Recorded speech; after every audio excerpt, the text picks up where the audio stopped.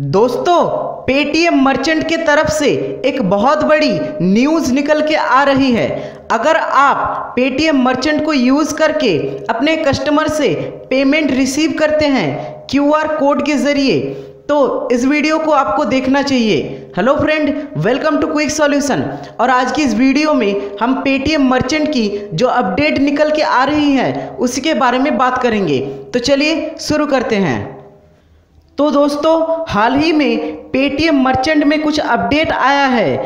अगर आप Paytm merchant को यूज़ करके पैसा रिसीव करते हैं तो शायद आपको भी कुछ इस तरह का एसएमएस मिला होगा। और अगर नहीं मिला है तो यहाँ मैं आपको बता देना चाहता हूँ 20 अप्रैल 2018 से आप जितने भी पैसे रिसीव करेंगे पेटीएम उन पैसों पर 1.99 percent commission plus GST charge लेगा। पहले पेटीएम मर्चेंट पे कुछ भी चार्ज नहीं लगता था।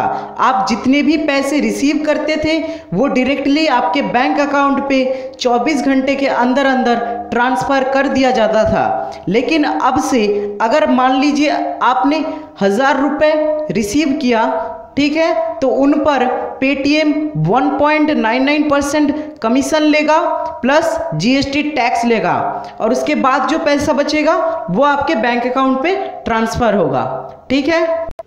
और ये 20 अप्रैल 2018 से लागू हो जाएगा।